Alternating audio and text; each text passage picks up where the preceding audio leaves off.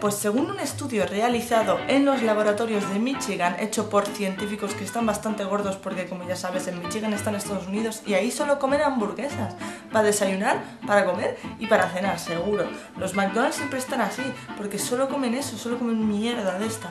El tema es que estos científicos gordos hicieron un estudio sobre la mezcla de sustancias y la cantidad de aire ingerida según los tragos que le das a esa sustancia o los bocados. Resulta que al final pues todo se transforma, ¿no? La materia pues al fin y al cabo se va transformando y cambiando.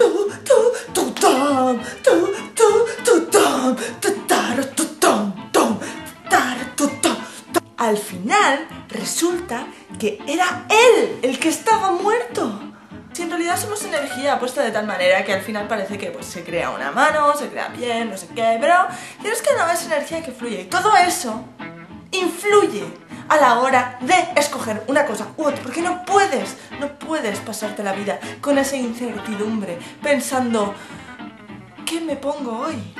Y yo le dije que no y él me dijo, ¿por qué? Y yo le dije, pues ¿por qué no? Y él me dijo, eso no es una respuesta. Y yo, ya. Y me, él me dijo, pues vale. Y yo le dije, pues bueno, pues vete. Y él me dijo, pues vale, venga. Y yo le dije adiós. Y él me dijo adiós. Y cerró la puerta y se fue.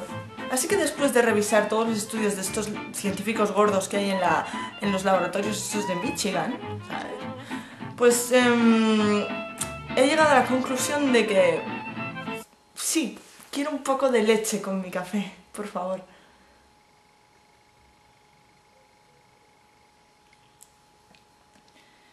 Me da miedo preguntarte si quieres azúcar. Pues mira, me alegra que me hagas esa pregunta.